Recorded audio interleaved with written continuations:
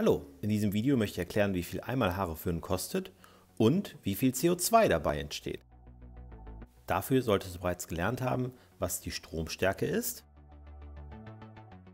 und was Spannung ist, daraus resultierend, was die Leistung ist, die sich aus Spannung mal Stromstärke berechnet.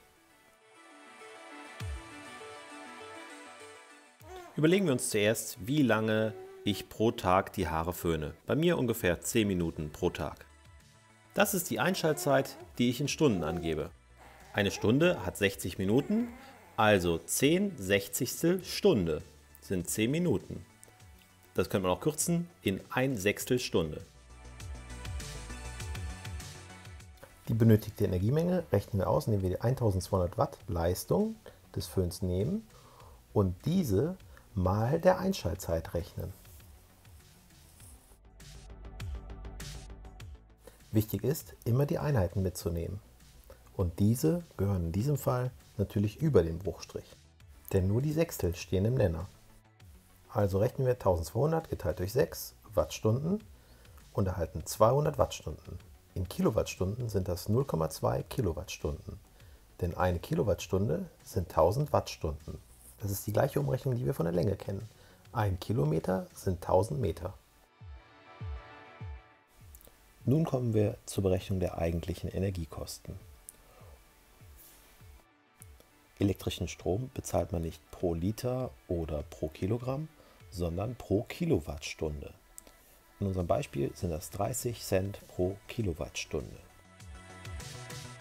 Die Strommenge, die wir bezahlen müssen, sind also die 0,2 Kilowattstunden und diese rechnen wir mal den Preis, also 0,3 Euro pro Kilowattstunde. Wie ihr seht, kann man die Kilowatt wegkürzen und die Euro bleiben stehen. Das noch eben schnell ausgerechnet. Das Ergebnis von 6 Cent kann ich nun in die Tabelle übertragen. Kommen wir nun zum CO2. Bei der Stromerzeugung wird CO2 frei. Wie viel finden wir auf unserer Stromrechnung?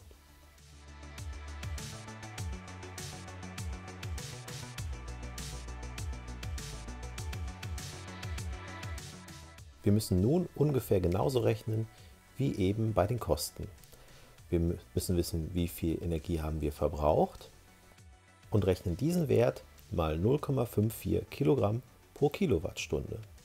Und erneut lassen sich die Kilowattstunden wegkürzen.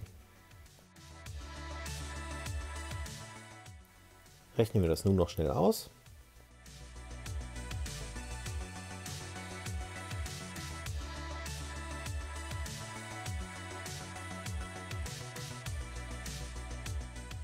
Und das Ergebnis übertragen wir nun wieder in die Tabelle.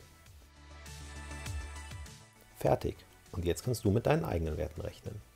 Denn es ist sicher interessant, wie viel Strom du verbrauchst und vor allen Dingen, wie viel Kosten du erzeugst und wie viel CO2 das eigentlich ist.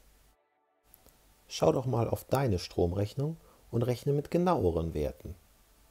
Viel Spaß dabei!